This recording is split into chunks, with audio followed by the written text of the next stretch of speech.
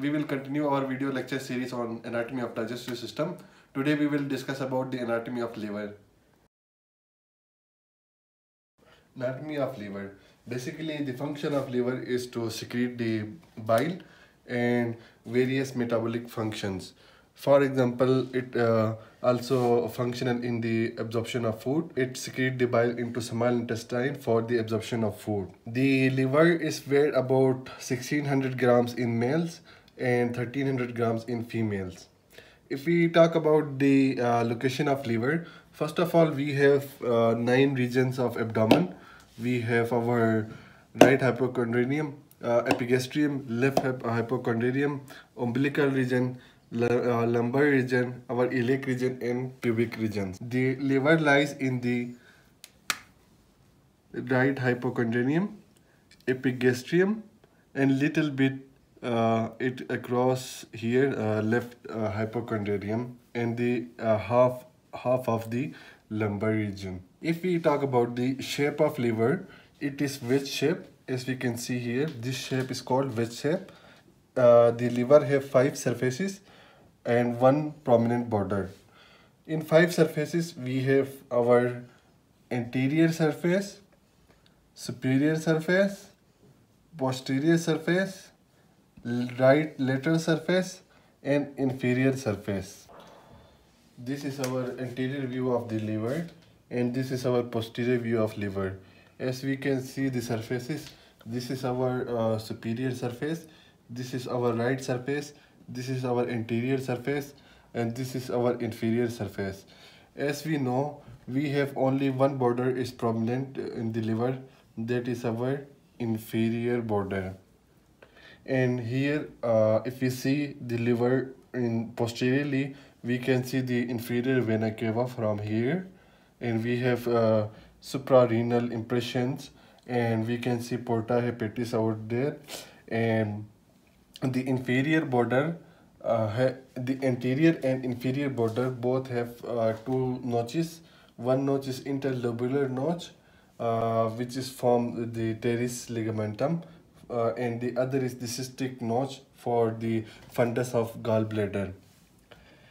As we can see uh, liver have liver is divided into two lobes uh, the right right lobe and the left lobe. Uh, the right lobe is uh, greater in size. It's almost uh, 80 to 85 percent of the liver till here. And it uh, the right side and the left side of liver is uh, divided by the falciform ligament anteriorly as we can see the falciform ligament present anteriorly and the superiorly and the fissure of ligamentum teres it presents inferiorly and the fissure of ligament, uh, ligamentum ven venosum is uh, present posteriorly. The two lobes of liver, we talk about the right liver and right lobe and left lobe. The right lobe is uh, bigger in size.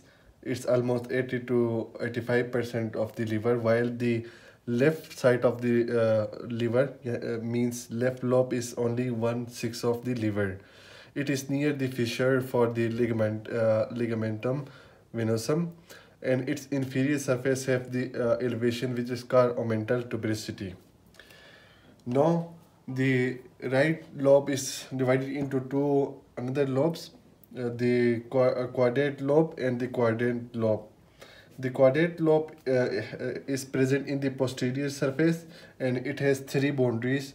The quadrate lobe present in the our posterior surface. It has three boundaries.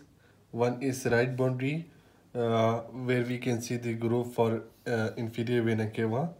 In our left boundary we can see fissure for the ligamentum venosum. And the in inferior boundary we can see porta hepatis in our quadrant lobe we can see uh, it is present in the inferior surface and it is rectangular in shape it has uh, boundaries anterior boundary which presents in the inferior border and the posterior boundary is present in the porta hepatis and the right uh, boundary which is present near the fossa of gallbladder and the left boundary which is present in the fissure of ligamentum teres Relations of the liver. The most of area of uh, liver is covered by peritoneum, but the some parts of liver which are not uh, covered in peritoneums are our triangular bare area, our groove for inferior vena cava, the fossa of gallbladder, and the attachment of lesser omentum and the fissure for the attachment of the uh, ligamentum venosum. Thanks guys for watching. In next video we will discuss the anatomy of pancreas.